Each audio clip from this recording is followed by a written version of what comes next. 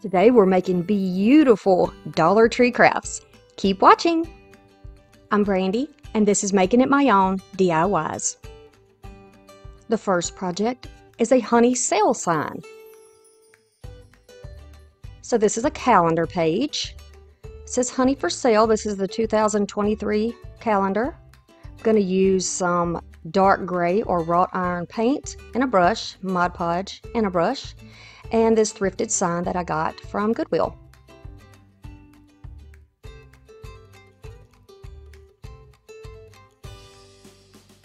I'm going to start off by taking my sanding block and just going over this. The paint on the top of it was raised, so I wanted to make it nice and smooth. So I just went ahead and sanded that down and then wiped it and dried it.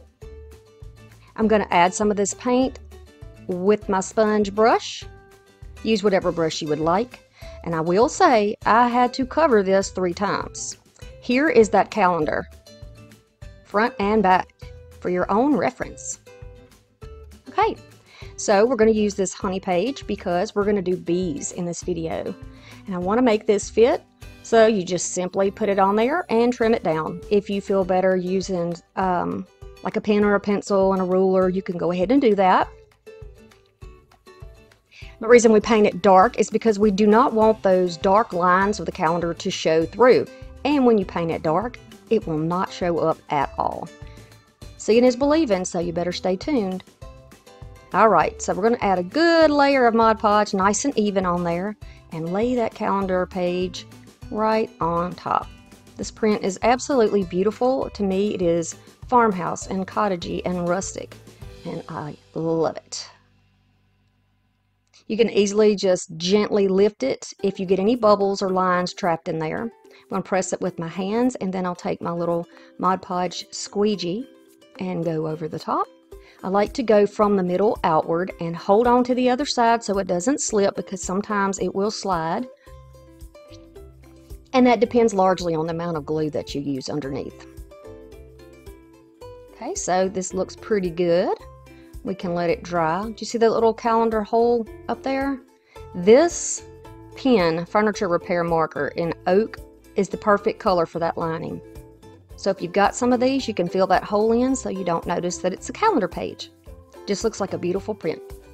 This came from the fall uh, decor at Dollar Tree. And then this ribbon is also from the Dollar Tree. It is wired. It looks like honeycomb very pretty ribbon. In person, it looks even better.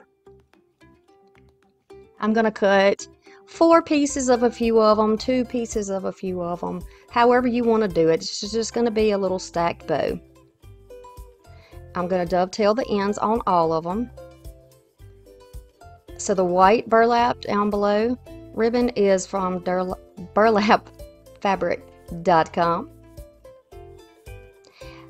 I'm going to just start layering these on here. You can do it in any order or you don't have to do it in order. You can just stack them in X's just all willy-nilly if that's what you want to do.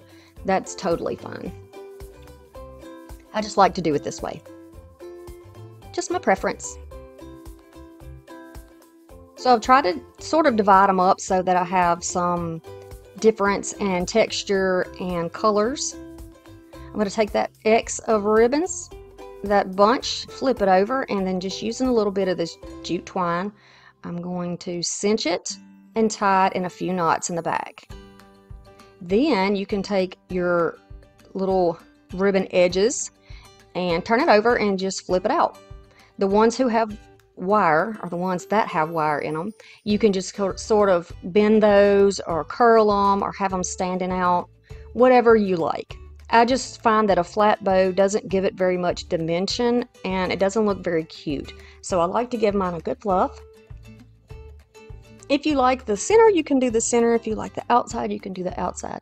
Now keep in mind that the square signs at Dollar Tree are the same size as the calendar pages. So if you would like to just grab a square Dollar Tree sign, if you don't have a 10 sign like this, you can do it and you'll still have a really nice look. Really nice sign. I just tied it onto that hanger and added a little glue so it won't slide up and down. And that'll keep it a little more secure than I think just the glue. So I'm going to pull off little ferny pieces here because they match the greenery that's in the picture and just add those here and there in that bow to give it a little something extra. I love bees. I've done lots of bee projects and um, yeah, I'll, I'll link some bee videos for you so you can check out the other videos, the other creations that have been made on this channel through the years. And I'm just putting these here and there. If you prefer to use flowers, go ahead and do that. If you don't have a honeybee calendar page and you want to do lemons or you want to do whatever, you can use any print. Just kind of, you know, coordinate your your ribbons and your greenery to whatever page you're doing. I really like the look of that.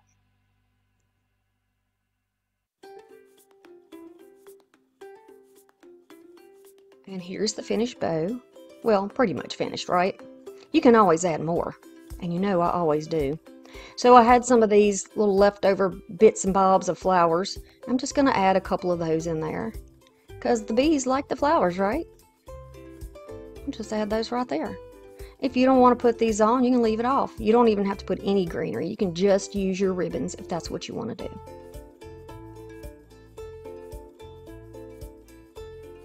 It is nice and smooth and ready to go. If you want to put it outside, you can get Mod Podge in an outdoor formula. You can put that all over the top to seal it off. Then it'll last a long time. Okay, the next is going to be a framed canvas. This is so easy. I've got some paint star sticks, some antique wax from Waverly, some wet wipes, and a canvas from Dollar Tree. This one says, let it be. Love it. I'm going to take my paint sticks and we're going to turn those into a frame.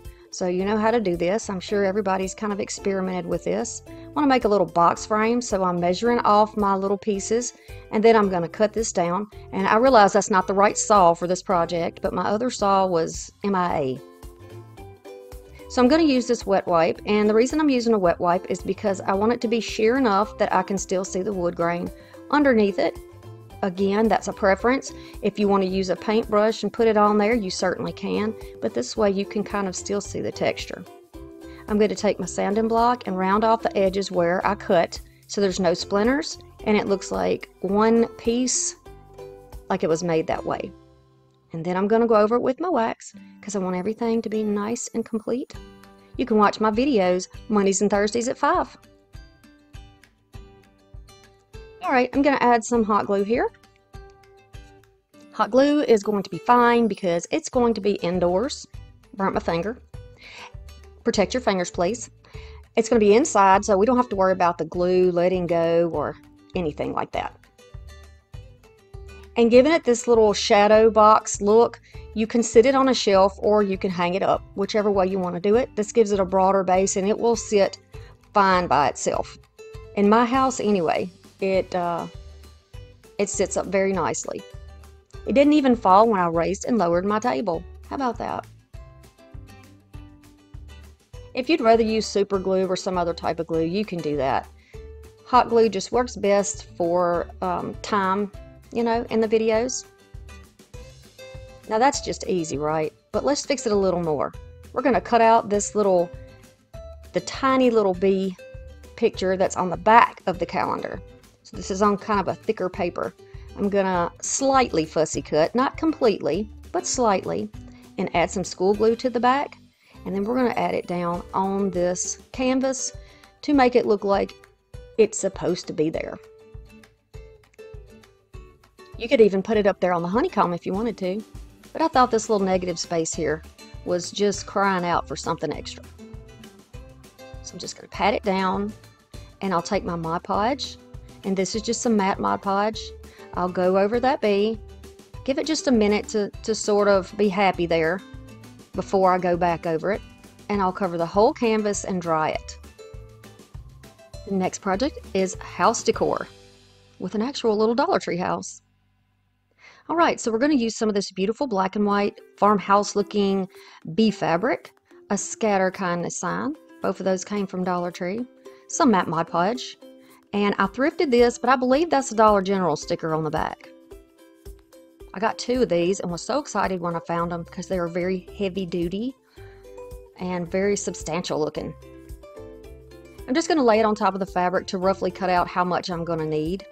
I am using the back side after the sticker is removed and I'm just going to go over this with a good thick layer of Mod Podge. We're going to use a thick layer because you don't have the issues with fabric that you have with paper as far as bubbling and such. So I'm going to lay it down here, space it out, make sure I got room on both edges, press it out with my hands, and then I'll use the squeegee to completely flatten it out. Then I'm going to immediately go back over it with another thick coat of the Mod Podge. I try to make it kind of even and keep my brush strokes going the same way. Okay, so once it is dried, I'm going to cut off more of that excess. Very sharp scissors.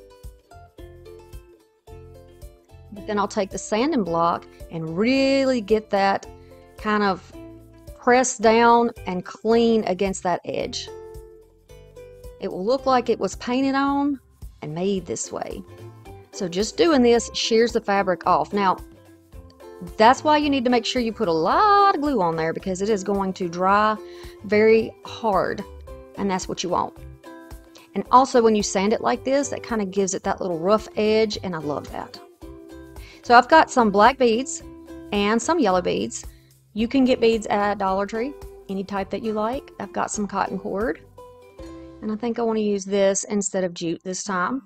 Do this however you like though. This is a preference thing. You could also use baker's twine if you prefer that. I do have some yellow and white baker's twine, but I was afraid it would be just a little bit too much, a little too busy, so we left that one out. I'm to go through the middle here and just make a little loop. Pull that string through there, and that's how we're to hang it. Then I will take both of the strings and put it through the black bead. And then I'll pull those apart. And I do have like a little hot glue. See there how we do that? A little cool temp hot glue. Twist that tip so you get a nice strong tip like on a shoelace. And then I'll press it through the little narrow beads these yellow ones. So it's kind of bright. This is almost probably more appropriate for maybe lemon decor, but it's the same color that's on the little hanger there, so I wanted to keep that kind of consistent. Now I'll put them back together. So see, the little yellow ones are on separate, and then we'll put them back together with the black bead, just like that. And now I'm going to make a loop and then tie a couple of knots in there so that nothing slips through the beads. I don't want my beads coming off.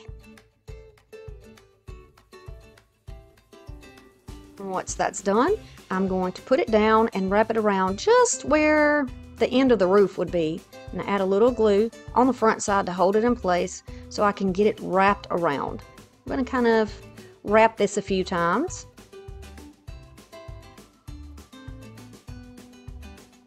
And you don't have to do it this way, of course. If you don't want to do it like this, you don't have to. Kind of tie it and then wrap it around again. You can make a bow here. You can hot glue it. You could just, if you wanted to skip the beads all together, you could just hot glue that little sign that says Gather Kindness. You could just glue that right to the front. You can finish off your back. This is actually the original front, but you could paint that if you wanted to. No one will see it at my house. Then, just to make extra sure it doesn't go anywhere, I'm going to add a little hot glue and pull it down and press it down. And this is how it looks. Love that black and white with it. It looks really cute. The next is bee blocks. So I have got my wood blocks here, or dice. This is some Dollar Tree ribbon.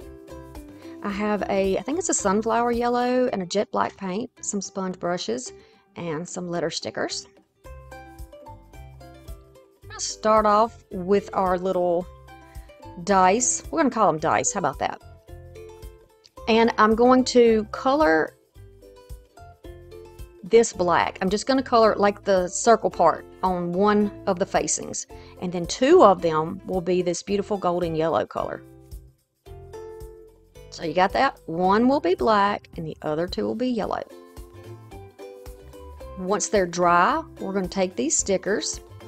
Use whatever alphabet stickers you have. And if you have, um, you know, a Cricut and you want to do that, you can certainly do that. But I had these stickers and I wanted to show you how you could do it if you don't have a Cricut. So I'm just going to put B on this one. The black one will get an E and then the other yellow one will get an E. Really press that down so I don't have to worry about any bleeding underneath. I know you can't see it on the black one yet, but it's there.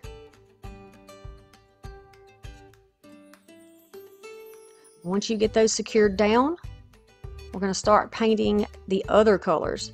So the ones with the yellow face are going to get a coat of black. I'm stippling it on the top to try to reduce the chances of it bleeding. Go all over the block now and just make that entire block black. I know it's out of focus. I had it kind of zoomed in a little, little close, but you get what I'm doing. And then you can just use your little tool from your Cricut or peel it up with your fingernails if you got good nails. And I did scratch a little too hard there into the wood. The wood's a little soft and I scratched my E, but I can fix it with a little paint. So I'm just going to use a really fine tip brush. I got this brush from Essential, Stencils. Whoo, I'm tongue tied. I got this from them and it is really fine and so easy to work with. It's like using a paint pen. I mean, this thing is perfect. So I'm just going back over to kind of neaten it up. And then we're going to connect them together with some hot glue. Feel free to use wood glue or whatever type of um, adhesive that you have. This will be inside, so the hot glue should work fine. Plus, we're going to do something else to secure them. They're not going to go anywhere. I'm going to flip it over to the bottom and grab some of this really cute bee ribbon and flip it over. I got my bee ribbon last year, but I am pretty sure they have it again this year, or what I'm seeing is what they had left from last year. So hopefully you can find this if you like to do bee decor for spring and summer. Press it down, go all the way back around to the original spot, and then Glue it down neatly. I don't want to put too much because I don't want to see a track of glue underneath that beautiful ribbon. It'll really cheapen the look and I want this to look high end, right? We want high end. I'm going to slip another piece of ribbon through there, right over the B, the letter B, and I'm going to tie a little bow here.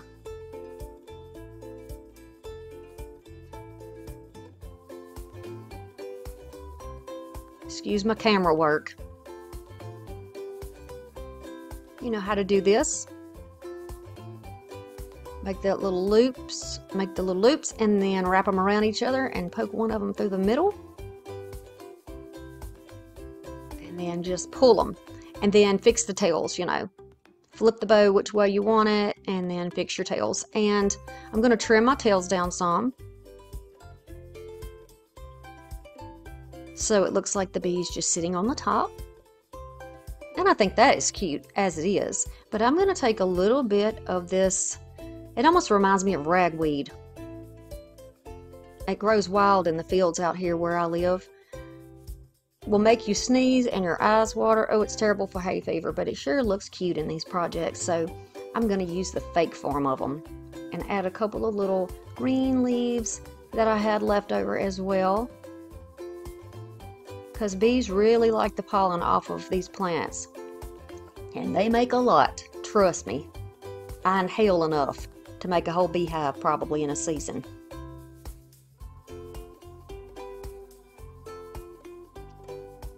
So that's how this is going to look. And you could add flowers if you prefer that, or you don't have to put anything. Just use the bow, or you could just use the word bee. Now we're going to do a bee flower box. This one was so fun. I love making little habitats and terrariums.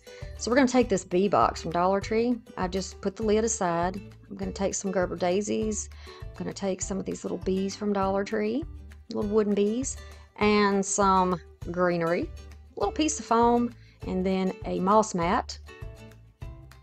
And then I have some wildflowers to use. So I want to get this where it will fit in the bottom of this box so that we have a nice base. I've cut it at a slant on both sides so that it will lay nice and flat in the bottom. Put a good deal of hot glue on here and press it down. Hold it down for just a minute. Let that dry. Let it cool off. You can kind of feel it in the box. Then I'll be trimming down a piece of this moss mat to go over that piece of styrofoam.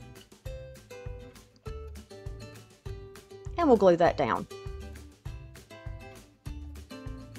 So how's the weather where you are? Today it is very cold. When I woke up this morning there was frost on the ground. But I'm pretty sure by this evening it will be in the 60s. So I'm not mad about that warm weather, the warmer weather. I really am not. I love to go outside and feed the ducks and when the wind is not biting cold and it's not scorching hot, I have such a good time walking down there by the lake. I hope they'll behave for for y'all so that I can get a little bit of, of, a video in there at some point of the ducks. I've done it before um, in other videos. I think last summer we had a video with the ducks in it. So they're so cute. They're the sweetest things. And sassy? Oh my goodness, who knew that ducks could be so sassy?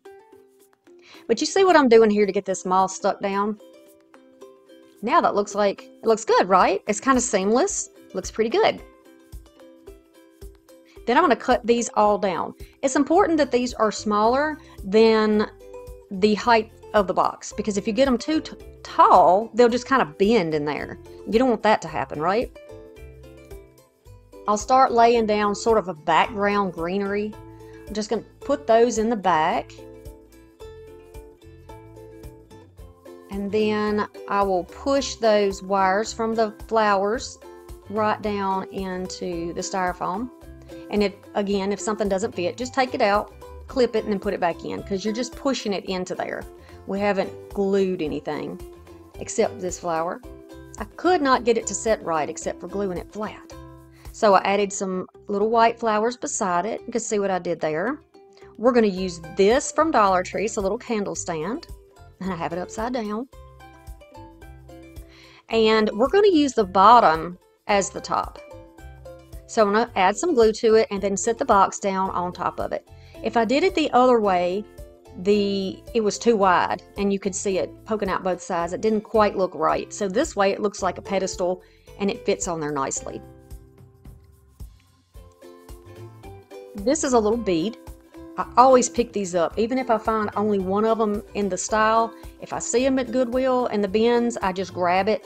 Nobody else is looking for this stuff, so they don't care anything about it and we'll put a little topper on it and we'll add this little bee right on top. He's up there with the best view of all the bees.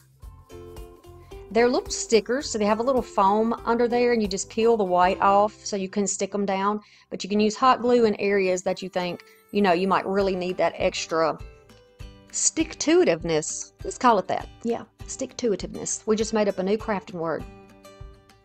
And then I'm just going to add these around on the inside too. And I didn't put a lot of glue on them, so if you get ready to kind of reposition, you can kind of reposition, which I did because I didn't want both my bees in the same direction. So I put one on the little flower and I put one in the middle of this flower. And I'm just going to pull it off and turn it in a different direction. These bees are working hard. They're, I want to give it the impression that they are all over the place trying to get their work done. They are busy bees, right? Busy bees. Yeah, I like the look of that better. Now to add a little something to that pedestal bottom, I'm going to take some of my Gorilla Glue and my glue gun and go around the base. We're going to make a little bit of greenery on here. I'm going to kind of wind this little flower around too. I'm going to glue it to the bottom on top of that greenery and then twist it up. You probably want to use some hot glue and some Gorilla Glue or use some E6000, something like that to hold these on because it can be very difficult to get things to stick onto a shiny like ceramic type surface. So yeah, I mean after the fact mine did pop off and I had to um, to reglue it. So just just a little information there for just so you don't get frustrated. If you're going to give this as a gift or sell it you definitely need to use some super glue. This is how this one looks. This was easy right? This was so easy but look at the impact it makes. That's super cute. You could even use this at Easter if you wanted to. I mean I think summer spring Easter very cute this is a look at the five projects that we did in this video. Got the little bee blocks and the little bee habitat here. And I love that the box is almost like a honeycomb shape. Not, I mean, you know, it's almost like that. You know that I know you can do these projects, right? I know you can do it. You got to have faith in yourself. I have people saying that they haven't crafted in so long and they haven't found inspiration I'm giving you loads of inspiration. And if you need more, subscribe because I am always doing my best to bring you budget friendly DIYs that look different than the standard crafts. We want to make it look high end and beautiful. Why don't you scatter some kindness today down in the comment section? Say something nice to somebody else who's commenting. Get to know each other. We're a big family here at Making It My Own DIYs. Thank you so much for stopping by today. I will see you again real soon. Bye.